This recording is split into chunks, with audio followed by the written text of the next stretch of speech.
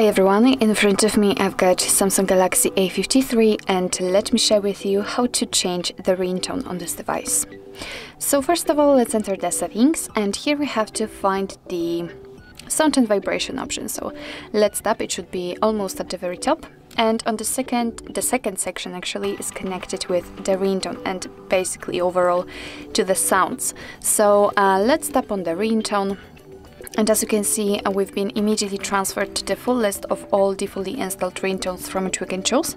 What's more, at the very top of it, we've got the silent option, which means that after picking it, your device will not notify you using the sound feedback about the incoming call.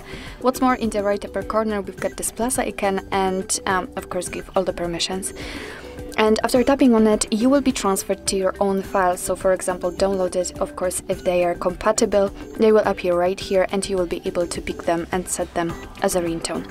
But let me get back to the default one and let's um, listen how they sound. So if you want to check, just tap on it.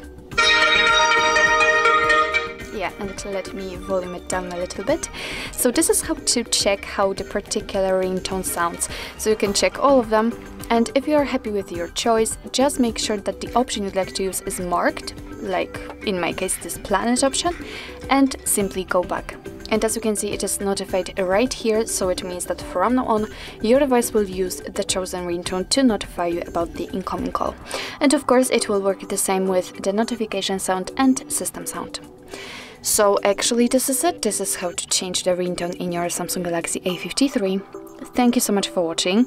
I hope that this video was helpful and if it was, please hit the subscribe button and leave the thumbs up.